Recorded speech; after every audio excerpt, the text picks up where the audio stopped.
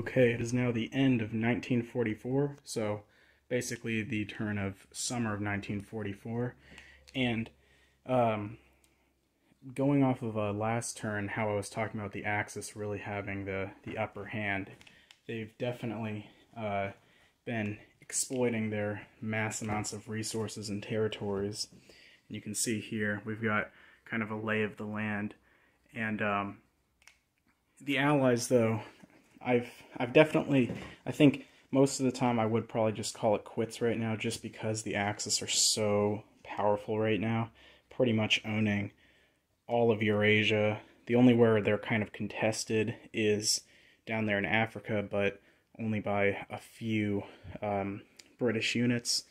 And then also uh, another place is right now in France where Last turn, as you saw, the Germans were able to retake Paris, but now the Americans have once again sent more forces to Paris. They've completed that German um, bunker that was under construction. They've lend leased the French a tank, which is now in Paris. The British have marched into these two territories here in hopes of kind of getting a further beachhead and at least trying to hold Paris, like, or hold uh, hold France, like get a grip on France, and then from there be able to wage war, especially uh, trying to contest Germany in the future. Because, of course, there's now only three turns left, including this turn. So, um, let's see.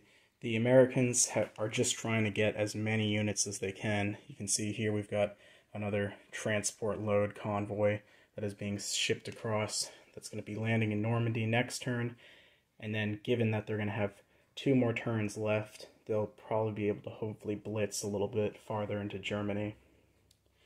The French were able to take out a German Mediterranean fleet that had been sent out there to destroy the British Navy, uh, which has now stranded the Germans uh, on the Com- uh, Canary Islands, which, yes, their planes can take off still, but they won't be able to use that as a forward base of operations the biggest problem right now for the Allies is not only that German huge industri- industrial base, but also the fact that, as you can see here, we have a German navy which is massive. That is a heavy battleship right there, along with tons of other ships.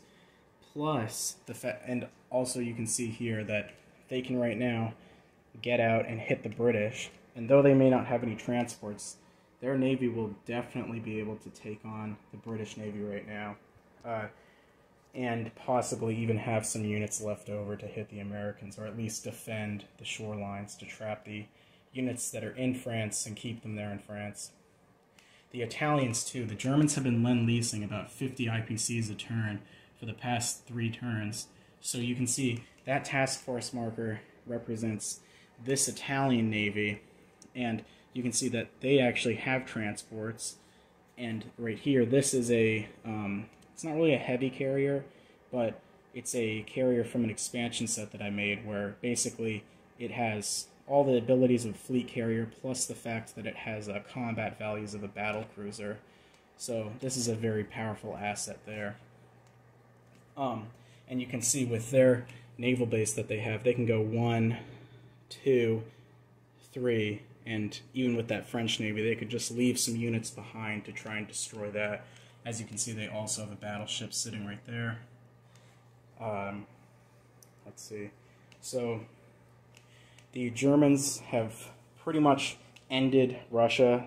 They've taken Moscow, and Stalingrad is holding, but with one inf- or one militia left. So that will probably fall next turn, especially with the fact that all these blitzing units can blitz down to the surrounded Stalingrad. Uh, I wanted to lend lease stuff to the Russians this turn, but there was one other factors that fell into it, plus the fact that Stalingrad's their last major defendable position, and it's completely surrounded now. So uh, another option was to send up the FEC Air Force to Stalingrad, but as you can see, we've got the German Africa Afrika Korps. The Japanese just landed in Calcutta, and the Germans were able to launch an airborne assault up here in northern India and also build a militia. So they've pretty much trapped, they pocketed, you've got um, the Indian army over here that can't connect to the Burma army over here. So that's another issue. The Americans have sent a small task force up here. They've landed troops in Kamchatka and are probably going to try to take some of the outer lying Japanese islands, at least divert attention, you know. If the Japanese send up these guys in that carrier to destroy these, then, uh, well, then it's going to be diverting troops away from this American task force because right now the Japanese have this major task force here. You can see that's three light carriers, a fleet carrier, and a heavy battleship. And going up against this American Navy, they would probably lose, but it would be heavily contested, especially with the fact that the Americans are within kamikaze range of the Japanese home isle. So the Americans are making use of their Battle of the Atlantic units. You can see we've got a uh, one of their Buckley class destroyers here. Uh, pretty nice unit. I'll probably do a painted review of those. The Anzac have just completed a, uh, let's see, we've got a uh, transport now, plus their Marine, and their fighter, so they may be able to kind of also try and contest the Japanese. Like, yes, that's a Navy that can definitely take out those Japanese there, but the fact that now we've got that task force up there, we've got the Australians, plus the Americans, which are right there, that's like a three pronged attack that now the large Japanese navy is sitting off of Calcutta, so they're kind of stuck there for the moment. And plus, the Japanese navy there is a lot of high value units, but they're not the strongest units in the game. Or I guess a lot of high powered units, but not a lot of the actual units. They only have one heavy battleship, one fleet carrier, and then the couple of uh, the few um, light carriers, plus the fact that going up against submarines on defense, they're decent because right now those planes are technically on um, combat air patrol because uh, they're carrier based and they're considered always on combat air patrol. But the problem is, is that uh, on attack, they can only go. Those planes can only move one if they're to hit subs because they have to be on combat air patrol. So they're not going to be able to hit American subs that are in the American task force. You can see the British Navy here, sitting off of Calcutta, are um, basically kind of holding on to the Middle East right now. They were supplying uh, Egypt beforehand. I'm just trying to fix the glare right now. There we go, that should be better. So, this fleet here has been basically sitting there and supplying Kuwait, but now that uh, the Germans were too powerful and they needed to pull back. They basically evacuated and brought them back to India. Although now, uh, like I said before, with the Fallschirmjäger um, detachment cutting off the Burma units, there's going to be little hope of uh, of these guys in Burma holding back an amphibious assault from the SNLF, plus the Africa Corps launching an attack into Western India. Um, the British also have a small South African navy that's been operating pretty well this whole game, with uh, you know Axis submarines not having enough um, force to muster an assault against these few ships, and that using that transport to basically bring units up. The only problem is that the Italians launched a two-pronged attack. They used up a lot of their tanks. They lost about four tanks here, but as you can see, they've almost gotten all of East Africa back and the only major force that stands in their way is the French industrial base, which really doesn't have that much stuff. These are just commanders, so they don't actually defend, and just a few British militia and a self-propelled gun. Uh, so the Americans have been trying to align Brazil, but nothing's been coming out of that. They do have a few ships on uh, escort duty, although there really isn't many Axis submarines anymore. So yeah, that's pretty much what's been going on. You can see that in preparations for the next turns, we've got the British with Marines and airborne infantry. Those Marines will be able to walk into France due to these little narrow crossings. Uh, the airborne is hopefully to try to spread kind of um, confusion among the German lines where they can send in an airborne to say take some of these territories over here using their long range aircraft, and then having to divert German units to go assault those. Plus, we've got um, three um, American airborne infantry, and those will be able to get, I think, from America, they can actually fly just about to France here, so they'll be able to maybe pinpoint one of these French territories, especially if they can take this territory here, because right now the Germans are probably going to have the ability to send these heavy tanks and blitz them to Paris, but if the Americans can take back Alsace-Lorraine, they can uh, hold back some of the blitzing units from Germany. So yeah, that's pretty much what's been going on. Another uh, thing that the Allies were trying to do but have decided to stop was uh, align Sweden, which is basically out of the rules of the uh, Nordic expansion that I've been playing with. Uh, Sweden will align if Paris is held, and uh, then at that point, oh yeah, so if Paris is held and if Finland is allied, and they can make Finland allied basically by having a Finnish territory, rolling a die, and if it's uh, I think like the number of territories they have, then Finland will surrender basically to the Allies. Uh, so if they do both those, then they can basically align Sweden to the Allied side, which would definitely be a great help. You can see all those Swedish units in there. So yeah, that's the end of 1944. Yeah. And so yeah, we're going to be playing out this turn and then going into 45 and seeing who's going to win this conflict. Well, everybody, it's the uh, midway through 1944, and I've decided to call the game. So, uh, basically, what I've thought is pretty much now it's a foregone conclusion. You can see here that the Axis have uh, more than twice as many victory points than the Allies, um, and I'm I didn't even count victory cities, so yeah, so as you can see there, the Allies really don't have much of a chance of taking the Axis on. Still, the Germans are at, uh, even if France was liberated, they're still going to be over 100 IPCs. So, I guess we'll just go into a quick review now. Pretty much most of this stuff is the same because I could have played this turn out and kept going for the two more turns, but the problem is that um, say with the Americans, they've just got, you know, they have a decent fleet right there, which probably could have been able to take out the Japanese. But when you think about the fact that uh, basically, like next turn, Japan would have been building a ton of stuff on Tokyo.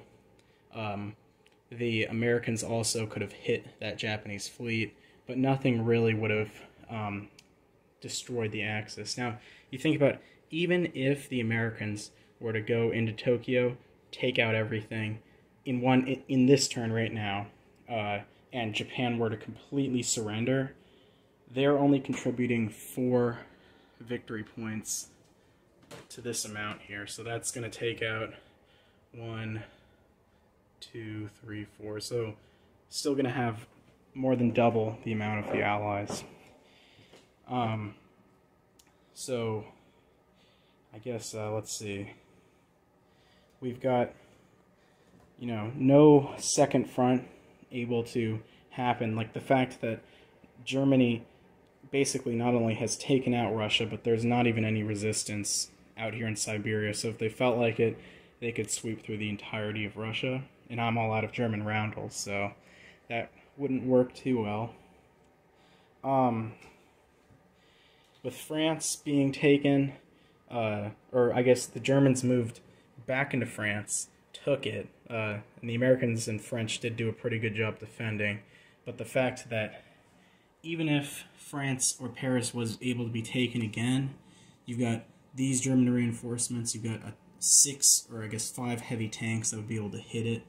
So plus all these other forces. So that's kind of not too great for the Allies. The massive German Navy just got revenge on the British and took all of them out and still has enough forces to start just hitting all these little pockets of uh, Allied resistance. the uh, Italians, with their massive navy, my plan was basically to sail them out, destroy whatever they could, but then from here go one, two, three, and then hit America. So that would have been another issue for the Allies to deal with.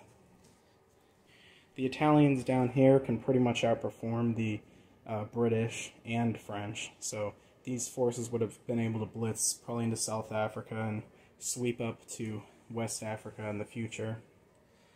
The Germans and Japanese pretty much neutered the FEC in one turn, so they're pretty much would have they probably would have been wiped out this turn. Uh, the Anzac doing decent probably wouldn't lasted too long. I think if they tried to move up to New Guinea, just because they have such a small force, Japan could have probably just sent like some aircraft down, wiped them out, and came back up. So yeah, the uh, nationalist Chinese did pretty well. They made a comeback. You can see they've got uh, these three land zones, and the Japanese really couldn't have hit them back next turn, but that really wouldn't have made much difference in the victory point scheme of things. So yeah, I mean overall, I guess my thoughts on this 1939 setup. I think it's definitely really fun. The fact that because I was I was saying I think in my last video a lot, I really liked the fact that it was a lot more I guess even. You know, it, it felt like a challenge for the Axis to try and use what they had to take out the certain objectives that they had. And with the Allies, it definitely felt like they had the upper hand at some points, and at other points they um, were doing pretty badly. And I think like the biggest turning point would have been, or I guess big turning points that would have been like unadvisable to me, um, would have probably been to, uh, as the British, I ended up coming up and declaring war on the Vichy army, basically to take out their navy and the two German ships there. But by doing so, I pretty much left myself exposed to the Italians, where even though the Italians um, lost some of their units, they still had enough to basically maintain the security of the Mediterranean. And I was too busy up here to send any units down to help reinforce Gibraltar. And especially with the fact that Britain starts with like six planes, I probably could have reinforced Gibraltar. Um, I think as Britain, my major issue that I needed to need to fix in the future was the fact that I was pretty much kind of sporadically trying to counter German forces instead of building up and like trying to punch at them. So basically, in, uh, instead of like maybe getting a bunch of Marines and then hitting Norway hard and garrisoning garrisoning it, I went up to Norway a few times, liberated it, and the Germans would fly in airbornes, and I would pretty much just I, I would get wiped out again and again without getting enough forces up there to really defend it. Same with Greenland. I kept trying to throw more and more units at it in small assaults where I should have built up a bunch of forces and hit it with everything I had. Um, the Germans did really well. I think, although in the beginning everything could have been ended really fast, I think in 1939 the best thing for them would be to not attack Paris first turn because I only had three units left in Paris. So if I had lost all those units and the Parisians had survived, well, then France would have had all their colonies. They would have still had Paris with a factory, and all of my tanks and mechs would have been destroyed, and I would have been in a really terrible position for other operations. Same with Norway. Norway only flew in with like two guys, so if Britain had focused more on Norway, it would have been uh, um, easily taken back. Uh, as Russia, I think my biggest mistake, or not really mistake, because I wanted to try the Winter War, which I thought was pretty cool with the Russians fighting the Finns. But the only problem is that uh, my big policy with Russia is like just don't attack Finland because you're going to get, with the Molotov Ribbentrop Pact, you'll take this territory in Karelia. But then all these Finnish units are just going to attack you when Finland aligns to Germany. And even if you were to break the pact, take all of Finland, you now have three extra territories to defend from the Germans. Um, and a lot of forces that have been lost or stationed up here that could be defending down here. And the Russians did do a good job at having their fortification line and everything. They were building heavy tanks and launching counterattacks, but again, without the the um, the extra forces that could have been supported from or supplied from up here being dispersed along this line, they had either been killed or were being held back up there. So that wasn't able to hold back the German attack. And another thing is with the loss of Transcaucasia, what I probably should have done was taken my units from Azerbaijan, moved them into Transcaucasia, and just had a huge fortified line there because the Germans kind of swept in with a few units and bombers and were able to take that out. And I think definitely the biggest things are like the Caucasus to have a good um, defensive, I guess, redoubt strategy with Russia, where if you lose, so if you got everyone just evenly dispersed and you've got your fortifications, if they break through like up here, then you've kind of got guys that are sitting around up here. So basically, to have strategies of pulling out, I think. So if the Germans were to take this and then they actually captured Leningrad, which they usually do in my games, would be to then have like this territory here as your defensive line. And then even even if you lost Moscow because Russia doesn't surrender, to then fortify this line here with Stalingrad as your main um, main fortified area, and then with the Caucasus not falling because of the fa- the fact that if they do, Turkey on the German side really is a big pain in the neck for the Allies. Um, with the Russians also, kind of like with the British, I think a bad thing was launching sporadic assaults. Like I kept throwing guys in, I would take a territory, the Japanese would take it back, and even though they didn't really threaten Russia at all, it lost units over here that could have maybe been consolidated for a big punch had the CCP gain those territories and start building militia and further the attack. America, I think, we'll start over here. The East Coast did a really good job at, you know, shucking units in, deploying them to Normandy, and I think also just using combined arms warfare. The fact that I would have the British move in, hit Normandy, even if they would have like a couple units left, then have the French reinforce it with their militia and whatever they could fly in, and then finally have the because the Italians, even though they go, they don't have a lot to reinforce anything. Then have the Americans come in and hit Normandy also. So you've got a bunch, of big multinational force, and you can see that's what's been in Normandy. And they've been able to hold out for like the last three turns and sporadically keep hitting Paris. So I definitely think that's a good strategy to hold on to is to communicate with the players, even though it was just me, but uh, using all the nations. Kind of, a lot of people um, that I played with are kind of like, you know, it, it's dumb that the nations go at different turns. Like they should all be able to go at once. But I feel like if you use the rules to your advantage, the fact that towards the end of the turn you've got Britain, all of the Commonwealth nations with Britain, then France, then Italy, which is a little smaller of a power, and then America. So you've got this trifecta of the three, uh, three big powers, or France is a little less so, but you can basically do like triple attacks and reinforcing territories with all those nations. Um, the British in Africa were doing decent because even though they lost Egypt, they were sending a lot of units up. But I think that a better strategy probably would have been to have the FEC build more units. So, like, maybe build a factory first, then build more units to then ship over to Kuwait, and then to just hit the Germans hard. Uh, and even reinforce Iran because um, I had, as you remember from a few turns ago, I think a few years ago actually, we had uh, guys in Transjordan and down there in Sudan. But after the Africa Corps hit Transjordan, there was only one front for the Italians to deal with, which really kind of ended the um, any hopes of the British retaking North Africa.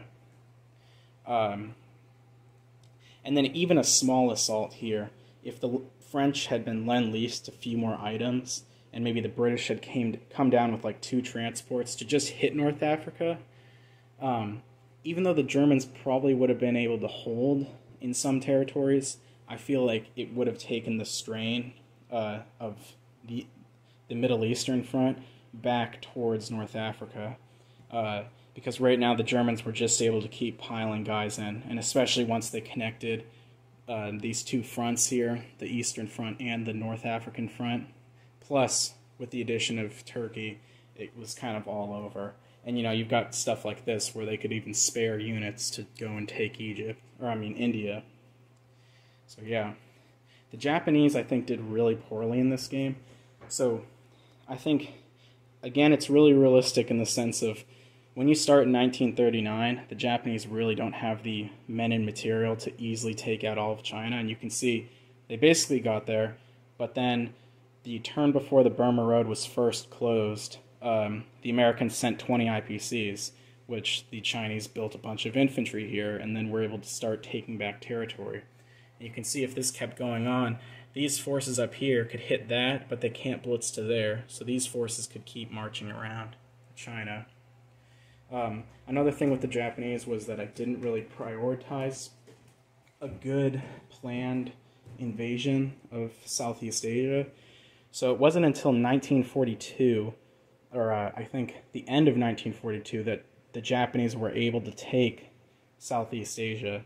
So, um, with a little bit more forces, like if the British were doing a little better in the Mediterranean, they probably could have sent some naval forces down and with the Anzacs maybe hit the Japanese fleet and really uh, damaged it, uh, which would have really hurt their ability to take any of these islands. So yeah, and I think also with the with the um, the forces is that Japan most of the time will leave a few of the islands in the um, the Dutch the few of the Dutch islands. So when they first invaded, they left uh, this one and these two. So and also Sarawak. So I think if the Anzacs and the FEC have a few planes, like maybe a couple fighters and a couple of infantry, to then quickly, you know, have a, a force that can basically send units there. So like if the FEC, I mean if the, the Anzacs had a few, two infantry and a fighter, and then the Japanese attacked the Dutch East Indies, they could basically just go one or uh, one, two, three, and then just start trying to land forces and contest them.